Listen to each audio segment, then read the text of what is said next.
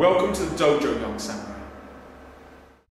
Konnichiwa, Young Samurai. Welcome back to another Ninja Night Read. My name is Chris Bradford. I'm the author of the Young Samurai books and the Bodyguard books. And I'm going to be reading to you uh, from my Young Samurai sampler, The Way of Fire. Now, we're on chapter 11. And in the past chapter that's just happened, it's been pretty dangerous. Akiko and Jack have got to the top of the volcano. Yamato and Saburo have been left behind uh, due to either exhaustion or the fumes making themselves sick. Luckily, Jack and Akiko have managed to find the flowering cactus. But as Jack plucks the flower from the cactus, the volcano erupts. Chapter 11 Eruption. There was a thunderous roar, and the ground shook.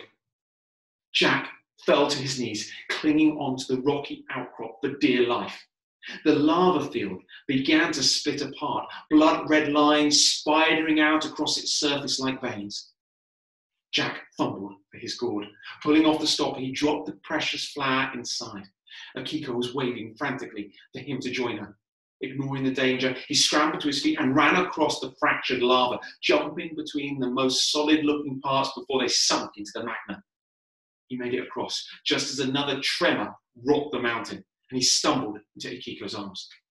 They ran blindly through the smoke and fumes, heading down slope, past the shrine to the snow line. Both soon caught up with Yamato, who was making his way down as fast as he could, his face now filled with terror. Did you get it? he cried. Jack could only nod. Behind them, a great plume of smoke rose into the sky, blocking out the sun. They raced through the snowfield as the volcano awoke from its slumbers. An explosion detonated deep underground, and the earth was rent apart.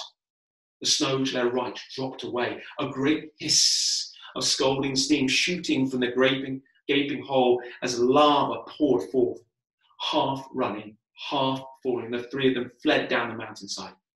Reaching the old lava fields, they could now bound down in huge leaps, their impact cushioned by the thick layers of volcanic ash.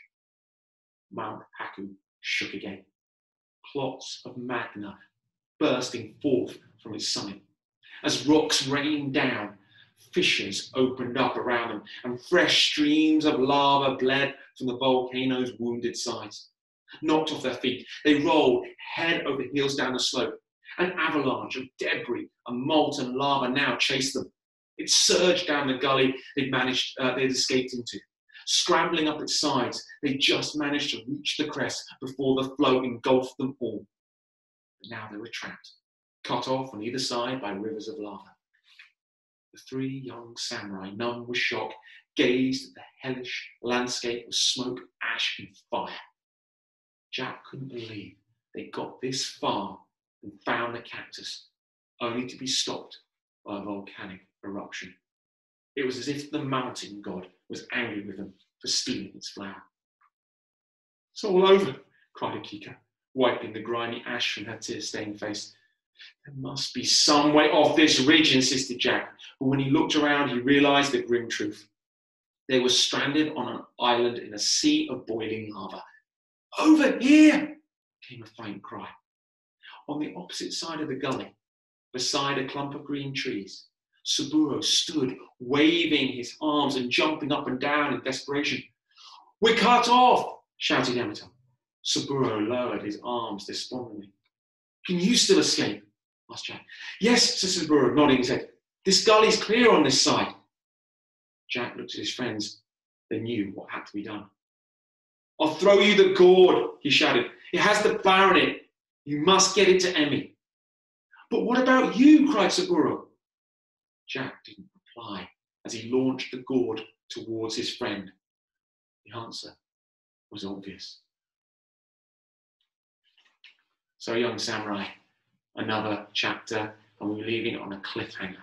If you want to find out what happens next, tune in tomorrow at my YouTube channel, Chris Bradford Author, and I'll see you there and I'll read that next chapter. In the meantime, sayonara.